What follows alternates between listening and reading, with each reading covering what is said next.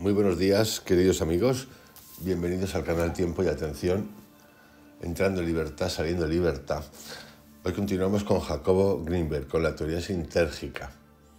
Continuación de ese capítulo de ayer en el que dimos vueltas y preguntamos y preguntamos y pregunté y cuestionamos algunas cositas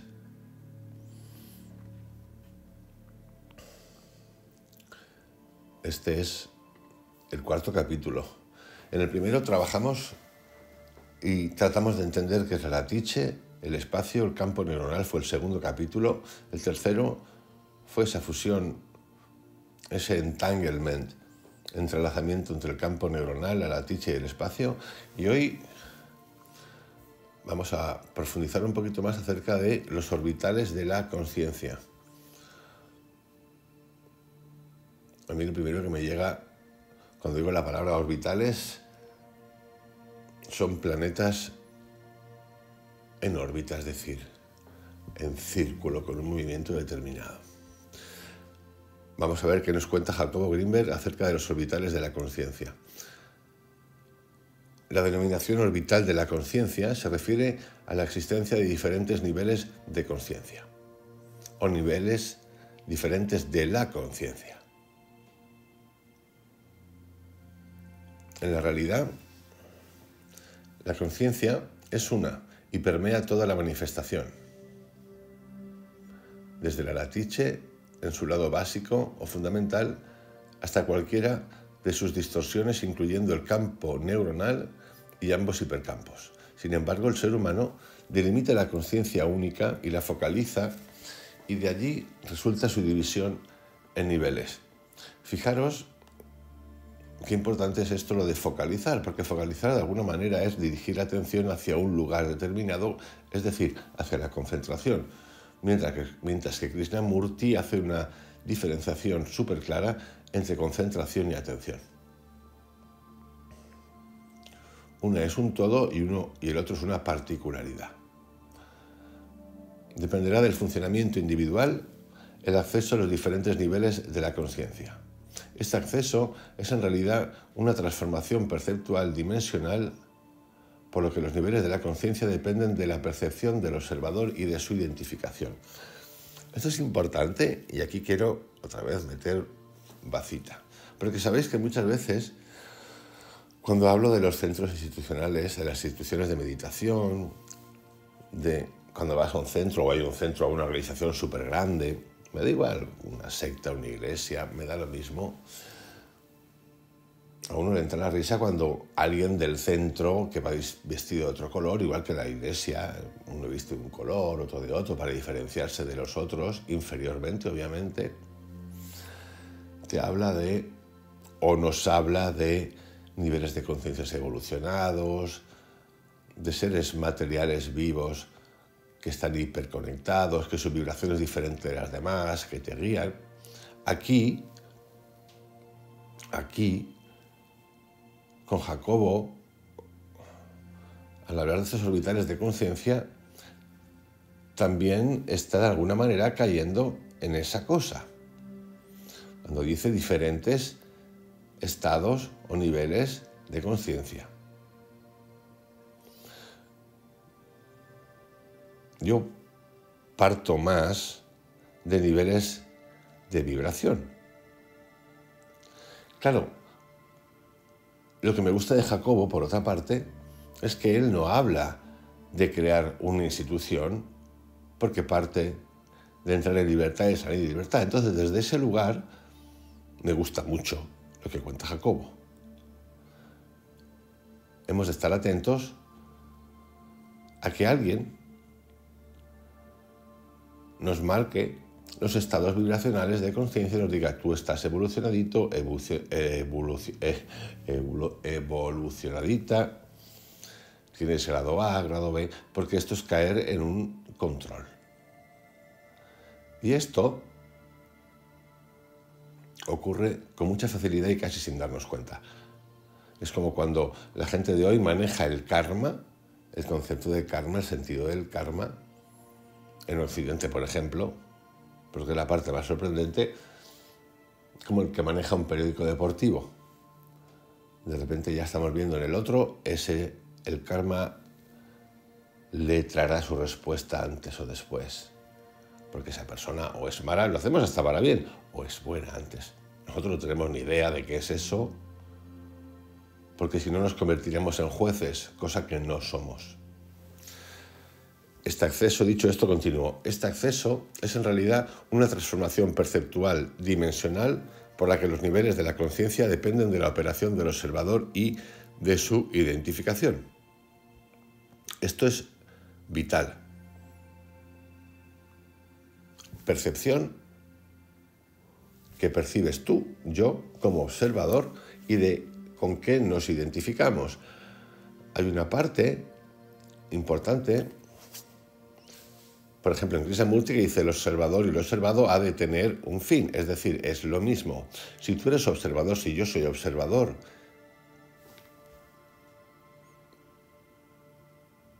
y meto la percepción, no la intuición, sino la percepción, y luego juego con la identificación, en realidad esa identificación es un etiquetado.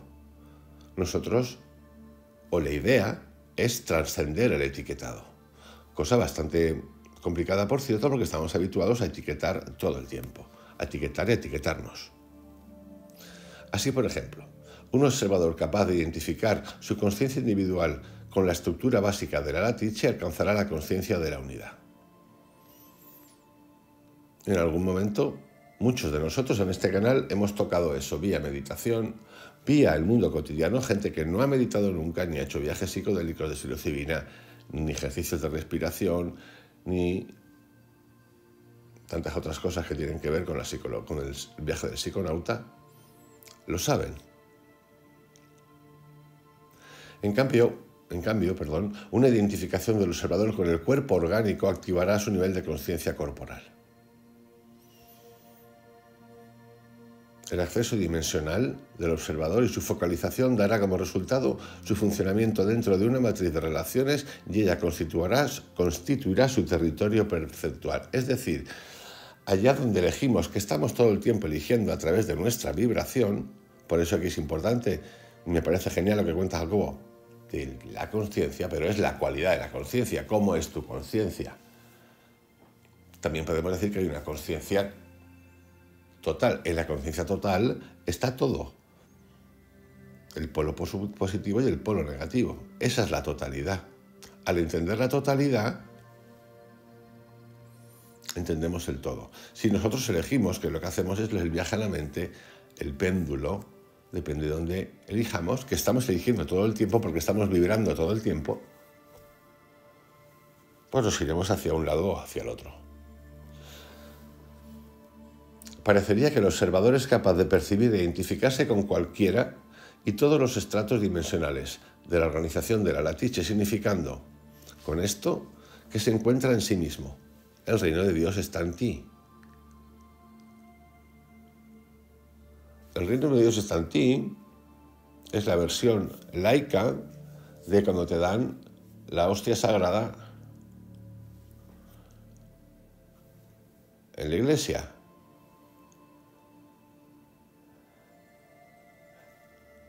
El viaje de psilocibina es la versión de la conciencia de la hostia sagrada y del reino de Dios está en ti. la meditación individual, individual, no guiada por nadie. No estoy diciendo que esté mal, no, aquí ni nada mal ni bien. Es el encuentro con esa secuencia que acabo de mencionar. Es un encuentro individual. Por eso dice, significando con esto que se encuentra en sí mismo, en una dimensión que incluye a la propia latiche. En otras palabras, la capacidad del observador de percibir todos los niveles de la latiche, incluyendo a esta en su estado básico, implica que el observador no pertenece al universo de la latiche, sino que a otro independiente de ella. Existen diferentes modelos que son otras tantas aproximaciones al análisis y descripción de los diversos orbitales de conciencia niveles.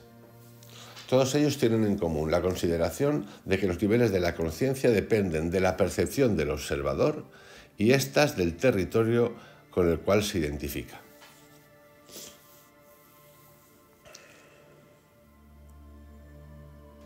Es decir, la vibración que emitimos tiene que ver con nuestra percepción, que viene genéticamente, que viene por educación, que viene por formación, instalada en sentimientos, emociones, biológicamente, y con lo que decidimos elegir.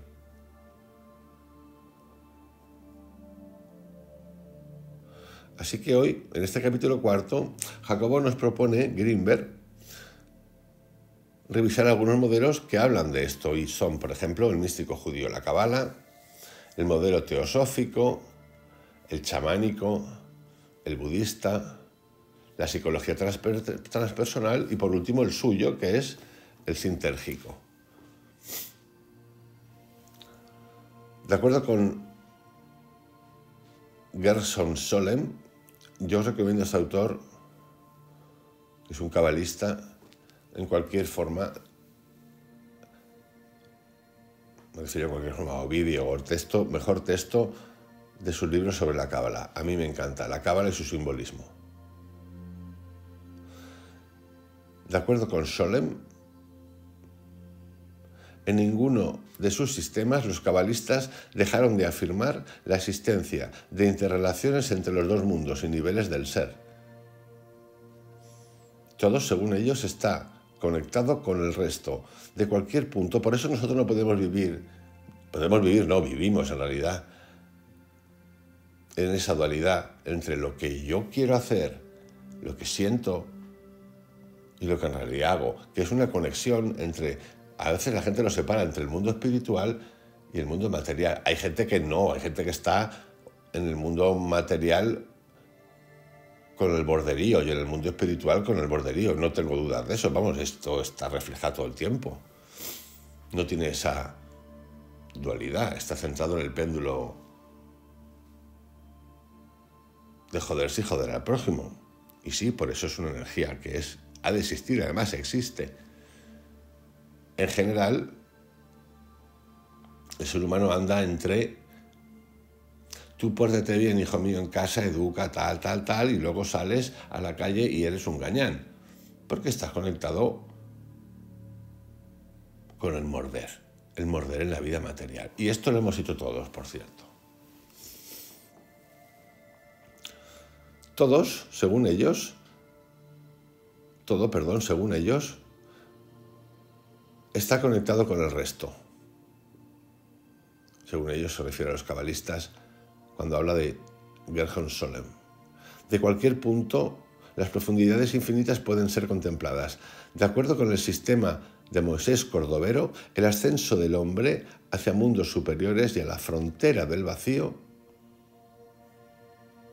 no implica ni lucra movimiento por parte suya, puesto que es en los detalles donde se encuentran todos los mundos. De acuerdo con la Cábala, lo que se localiza se encuentra arriba y lo que está en el interior se sitúa en el exterior. Es una interpenetración. La Cábala afirma que no solamente todo está contenido en cada parte, sino que también actúa sobre todo el resto. Aunque después, cuando veamos el modelo sintérgico, que es muy parecido a este modelo cabalista,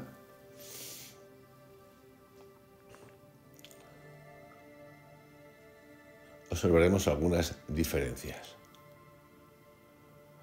De la misma forma, la consideración cabalística de que cualquier acto o pensamiento tiene un efecto sobre la totalidad tiene su demostración experimental en los efectos que el campo neuronal produce sobre la latiche, otros campos neuronales y, y ambos hipercampos. El modelo que postula la cábala es simultáneamente longitudinal y concéntrico. Longitudinal es largo y concentro que concéntrica, que, que concentra. La aproximación longitudinal intenta resolver el misterio de la creación desde un principio trascendente e invisible hasta su manifestación en la acción. Este modelo tiene por lo menos seis universales, que son otros tantos mundos o universos. Cada universo pertenece a una dimensión distinta. Al mismo tiempo, cada universo está asociado con un nivel del alma y con una letra hebrea. Y así vamos a ver ahora una tabla modificada de un estudio de Kaplan que se titula Meditación y Cábala, que presenta las relaciones que la Cábala propone entre los niveles del alma, los universos y las letras hebreas. Entonces tenemos en una columna niveles del alma, en otra universo, en otra la letra hebrea. Entonces, por ejemplo, niveles del alma. La única. Yejidá, esencia única o singularidad, universo. Nos cuenta que es el Ein Sof, sin final. Adam Kadmon, hombre. Y arquetipo. No tiene una letra asociada. Jai, esencia viva. Az, Atzilut, emanación, la letra Yud. Nesama, neuma, aliento. Universo, verilla, creación. Letra Hei, H-E-I. Ruach, espíritu o formación en el universo. Yetzira, la letra Vav, V-A-V. Y el alma, Nefesh. Universo, asilla, acción, la letra H-E-I-G-I. El universo del Adam Kamdom es el del hombre primigenio o arquetipo. El Adam Kamdom representa al humano en su origen o estrato de mayor abstracción. No es en realidad el primer nivel trascendente, sino una manifestación extraordinariamente elevada de aquel. Por arriba de Adam Kamdom, la Cábala sitúa al Ein Sof,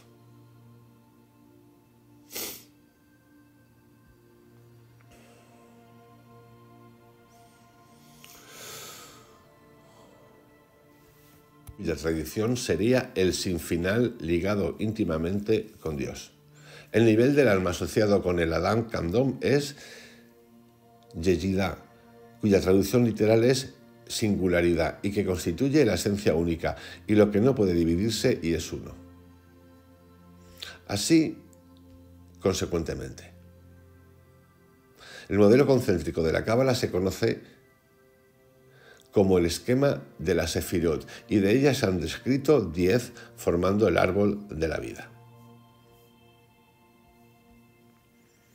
Y aquí encontramos asociaciones, Sefira con colores, por ejemplo, el Keter corona con el blanco, el Jochma sabiduría, un color que incluye a todos los colores, la Bina entendimiento con el amarillo y el verde, el Geset amor con el blanco y el plateado, el Gebura fuerza con el rojo y el dorado, el Tiferet belleza amarillo y pureza y púrpura, perdón, el Nectar victoria rosa claro, el Hot esplendor con el rosa oscuro, el Yesod fundamento con el anaranjado y el Malhut reino con el azul.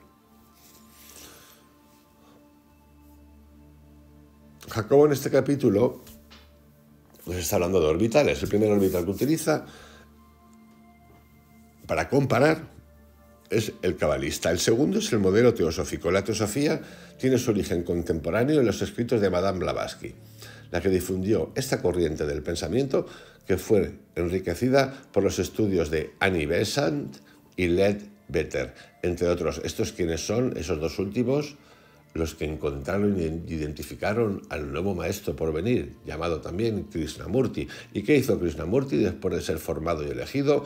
Pues llegó un punto después de 20 años y dijo, adiós amigos, Anibesan, adiós amigo Slade Better, adiós amigo Estrella del Este. Y la disolvió. Importante. Y la disolvió. ¿Y por qué es importante esto? más importante de lo que parece. Porque en este caso Jacobo está utilizando la teosofía, que por supuesto que tiene cosas muy interesantes. Bueno, yo no tengo por qué decirlo, yo lo pienso. Pero la disolvió. Entonces, En esta conjunción de pensadores teosóficos, cabalistas, krishnamurtistas, jacobistas, grimberianos y tantos otros, hay que nosotros tenemos que buscar nuestra esencia y nuestro cuestionamiento, como cuestionando, como preguntándonos. Porque si damos por hecho esto que cuenta Jacobo, los orbitales, las comparaciones, al final podemos caer, y Jacobo es uno de mis favoritos, en un lugar que se repite, lo que yo llamo el cambio de cromos. Pero vamos a seguir experimentando y viendo qué cuenta Jacobo en estos orbitales. Según la teosofía, poseemos diferentes cuerpos, cada uno de los cuales está asociado con un nivel de conciencia. Estos cuerpos son siete, en número, el físico, el etérico, el astral, el mental, el espiritual, el cósmico y el nirvánico. Bien, pues yo creo que hasta nos resulta fácil entender esto. Pero de nuevo, igual que cada cultura refleja en sus visiones el mapa de los dioses, el mapa de las creaciones, cada uno la suya, y a veces nos amarramos y nos aferramos a eso, la descripción de Manuel Swedenberg del infierno y de los cielos y tantos otros, cuando uno escucha esto, tenemos siete cuerpos, físico, etérico, astral, mental, espiritual, cósmico, pues esto debemos de tomarlo como que suena muy bien. ¿Por qué suena muy bien? Porque el ser humano está acostumbrado de manera cartesiana y nos encanta esto. Mira, paso uno, paso dos, paso tres. Pero no va así. Es que nunca ha ido así. Por eso lo de los hábitos, las herramientas, hábitos, herramientas que utilizamos en cualquier cosa para trascenderlas, hemos de ser, han de ser trascendidas, porque no tiene por qué ser así. Es que yo no creo que sea así. Me estás contando que para entender esto del cosmos, del universo, donde estamos, que somos, somos energía, es, significa, bueno, está hablando de la teosofía, está, está poniendo un ejemplo Jacobo, ¿no? De que hay siete normitas, siete estadios, siete tipos, tres tipos de yoga de Kriya, nivel A, nivel C, nivel. Esto que lo utilizamos y nos viene a todos fantástico para explicar cositas.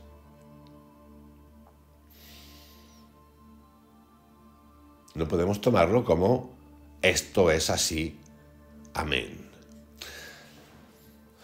De acuerdo con el autor Ragnés, en su Psicología de lo Esotérico Cuatro Vientos, no solamente la conciencia es diferente en cada uno de los cuerpos, sino también la cualidad y los contenidos de los sueños. Cuando entramos en esta fase, ¿en qué estamos entrando? En algo, a mí esto me lo ha enseñado Mauro Viniglio, el traductor de la Biblia. ¿En qué estamos entrando? Estamos entrando en lo que se llama teología. Sí, y hay muchos tipos de teología. Está los de los cristianos, musulmanes, los judíos, el estudio de Dios. Vale. Cuando hablamos de esto, y alguien aparece y dice no solamente la conciencia diferente en cada uno de los cuerpos, sino también la cualidad y los contenidos de los sueños, estamos haciendo una teología o un logos de la conciencia.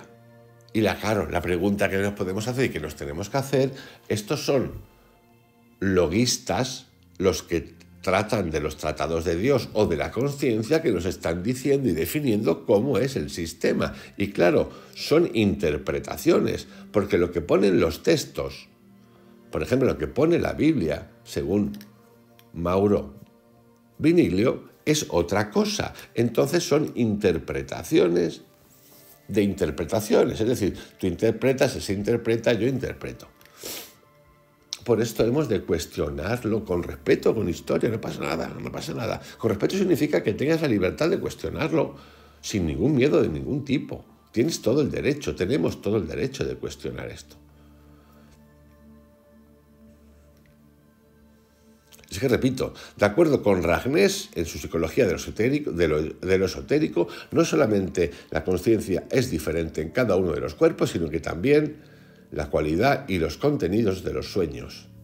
La conciencia variará dependiendo de la identificación del observador con algo u otro de los cuerpos. Es importante mencionar que la denominación cuerpo se refiere a una organización o estructura perteneciente a cierta dimensión del espacio. La existencia de siete cuerpos implicaría la también existencia de siete dimensiones.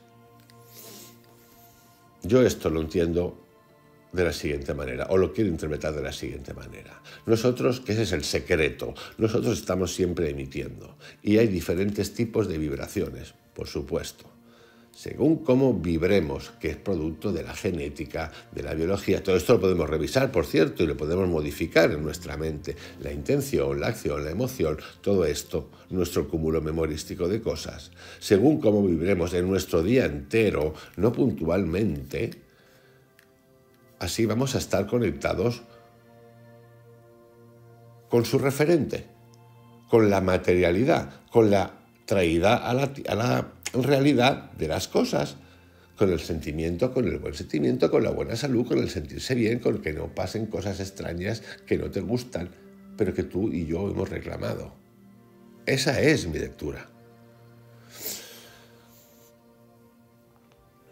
Estamos con la teosofía.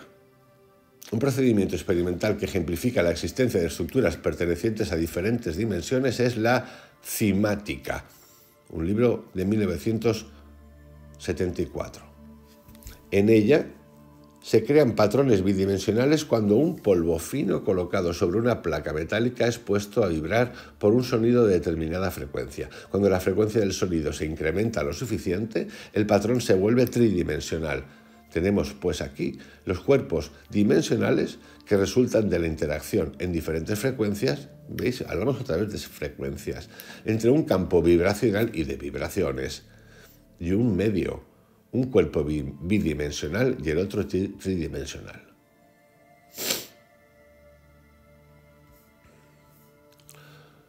Vamos ahora a otro orbital, como nos cuenta Jacobo, que es el modelo chamánico. El modelo chamánico es bifactorial, es decir, considera la existencia de dos niveles generales de la conciencia. Algunos chamanes denominan a estos dos reinos el mundo visible y el mundo invisible. Esto lo explica muy bien en los chamanes de México Jacobo Greenberg. Otros chamanes lo llaman el tonal y el nahual. Esto lo cuenta Carlos Castaneda en El Fuego Interno. El mundo visible equivale al tonal y se refiere al nivel de la conciencia cotidiana. En cambio, el mundo invisible o nahual hace referencia a un nivel de conciencia solamente accesible para los videntes. Por cierto, y esto está bien, son representaciones, yo parto del principio de que todos tenemos acceso. Y dentro de ese todo hay personas que tienen desarrolladas más estas energías vibracionales, conocimiento de ellas, algunas por conciencia, otras porque las tienen, vienen con ellas. Esto no es una exclusividad de nadie.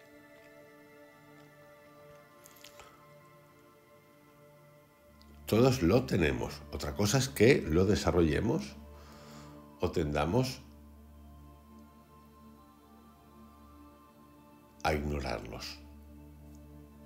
Los chamanes o de la sierra de Tarahumara hablan de la coexistencia de tres espíritus en cada persona, denotando con ello la presencia de por lo menos tres niveles de conciencia. El mundo invisible para los graniceros del estado de Morelos, en México, está poblado por seres astrales que desafían la gravedad y viajan por el espacio realizando trabajos de ayuda. El chamán puede tener acceso a ese reino sutil adquiriendo en su contacto con el otro nivel de conciencia. Algunos chamanes mexicanos son capaces de penetrar a estados de trance mediunístico, de medium, cambiando no solamente su personalidad habitual, sino manifestando un conocimiento que no pertenece al nivel de la conciencia de la vigilancia, de la vigilia, perdón, cotidiana.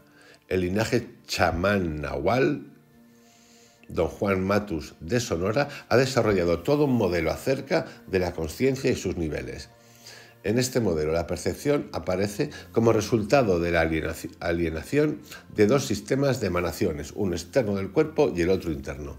El cuerpo al que hace referencia este modelo no es el cuerpo orgánico, sino un cuerpo energético luminoso que es visible para un vidente. La alienación de emanaciones se modula a través de la acción de un mecanismo de focalización que don Juan Matus denomina punto de encaje.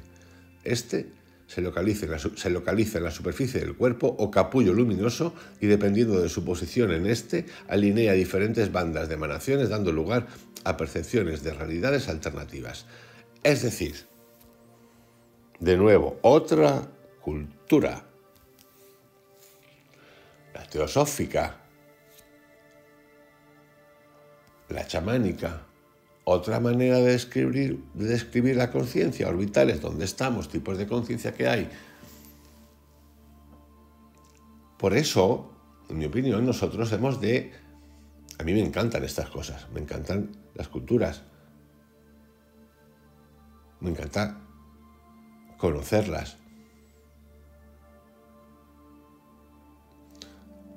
Y yo creo que la cultura, que es lo que cuento siempre, igual que las emanaciones, igual que la vibración, igual que las visualizaciones que tenemos, igual que lo que recreamos conceptualmente, porque esos son recreos conceptuales, tienen que ver con la cultura donde nosotros y el entorno donde nosotros vivimos. Entonces el chamán hará referencia y hace referencia a joder, si vive en el Amazonas, pues a lo que le rodea en el Amazonas, que es un flipe. El que vive, imagínate que tenemos un chamán, un chamán urbanita, pues eh, un neochamán, pues ahí, a su cosita. Un hindú, un cristiano, un gnóstico, un sufi, lo que te dé la gana, un budista, lo que te dé la gana, lo que nos dé la gana. Esto de los niveles si nosotros le hacemos caso a cada uno, pues tenemos muchos niveles. Y esos niveles hemos de trascenderlos. Esos orbitales hemos de trascenderlos. ¿Y cuál es el secreto para mí? Pues el logo, el moto de este canal. Entro en libertad y salgo en libertad. ¿Y qué significa eso? Pero eso no gusta. Eso, ¿por qué no gusta? Porque el que está encajado en el poder, que en el chamanismo también hay poder, en el chamanismo local, en todo hay poder. Porque estamos en la tierra, ¿Y por qué no gusta? Porque cuestionas, porque le quitas poder, pero no le quitas poder para dártelo a ti. No, le quitas poder de control sobre los demás. Por eso es tan complicado, porque el ser humano, al ser humano nos gusta el sentido de pertenencia. Pertenezco al club, odio al otro club. Estos son los míos. En la Biblia está, el amor al prójimo se resume en amor a tu grupo y los demás, caña mandaña. Eso no me lo invento yo, eso está así escrito. Pero la gente hablamos de oh, amor al prójimo universal, un cojón, ahí no pone nada de eso. Hoy estoy un poquito resfriado, esto va a ratos, pero no es nada.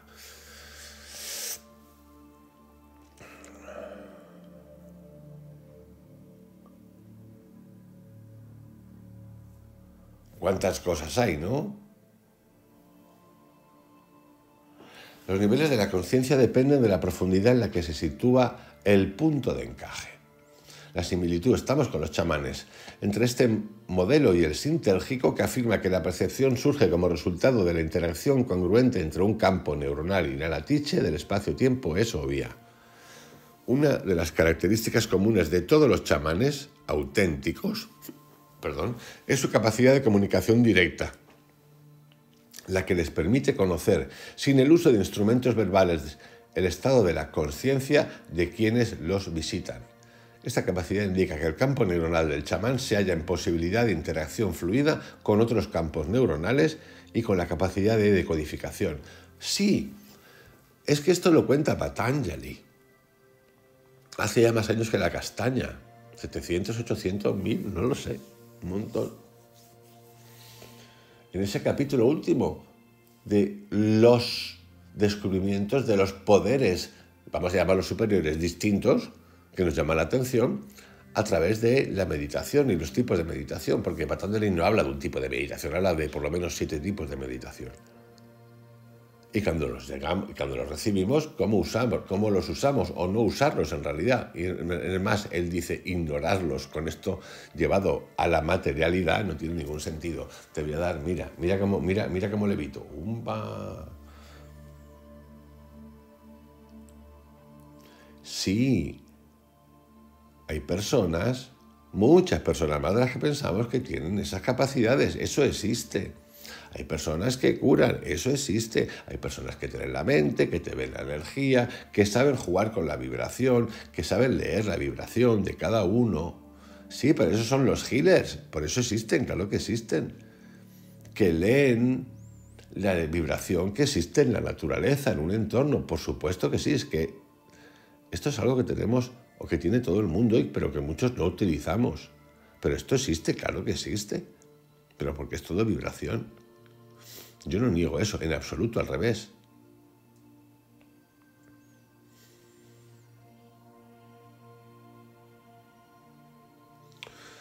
Se podría postular la existencia de un nivel de conciencia chamánica que he denominado, Jacobo lo denomina, la banda chamánica.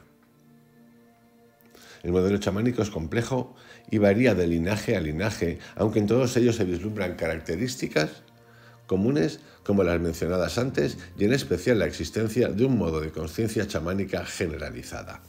Por eso estoy haciendo el podcast, que va a ser largo, nos va a llevar muchos capítulos, de los viajes chamánicos, entender qué es el mundo del chamanismo, ¿dónde? En todas partes, incluido el neochamanismo. Chamanismo de Facebook, puedo llamar ahora, porque el otro día vi que hay cursos en Facebook de chamanismo, curso online de chamanismo.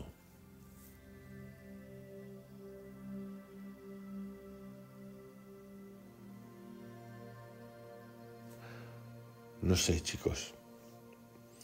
Las preguntas siempre preguntándonos. Luego tenemos el modelo budista. En esos orbitales. En la que en este modelo nos cuenta Jacobo, la consideración fundamental es la inexistencia de un estado yoico absoluto y la idea de que lo que hace avanzar de nivel en nivel de conciencia es la inclusión de contenidos de la experiencia dentro de un proceso de observación inclusiva. El budista sería un estado meditativo orbital. Luego tenemos el modelo de psicología transpersonal, donde aquí tenéis tenemos a Stanislav Grof, a Ken Wilder. A ver si alguien adivina quién más. Tenemos a los psicodélicos. Sí, sin ninguna duda.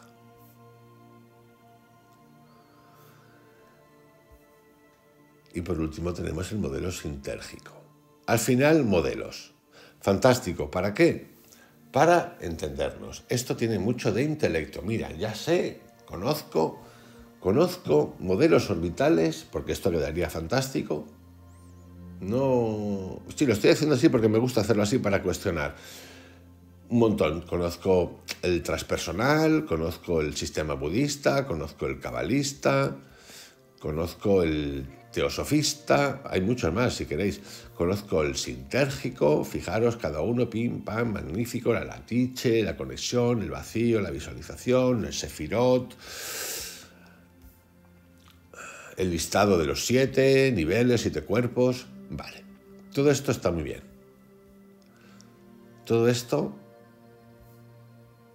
lo tenemos que coger, sinceramente, una vez conceptualizado y entendido porque son sistemas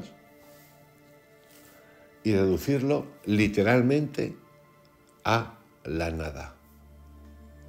Porque si pensamos por un momento en que esto es universal, que pertenece a todo ser humano, no podemos pensar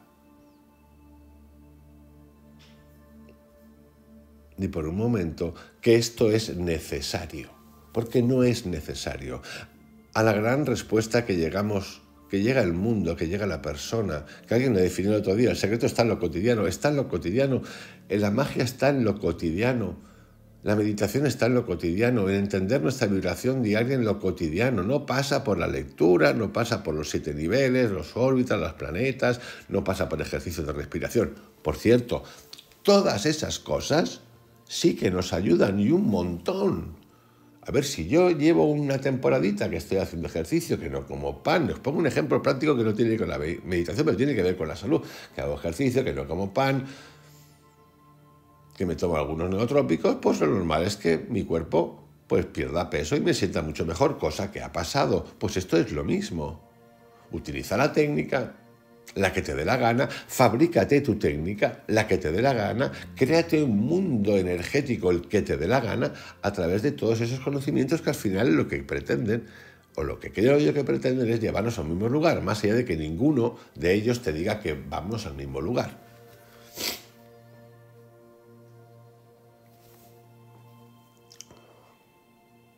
En fin, queridos amigos y amigas, os dejo con el capítulo cuarto de esta teoría sintérgica que en el capítulo cuarto Jacobo nos ha llevado a hacer un paseo, un comparativo con diferentes orbitales, entre ellos el suyo.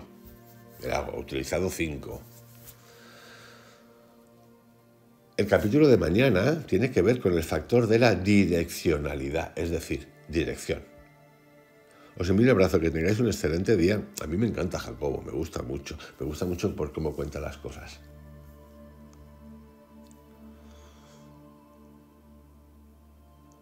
Que lo paséis bien y atentos. Crearos vuestro sistema.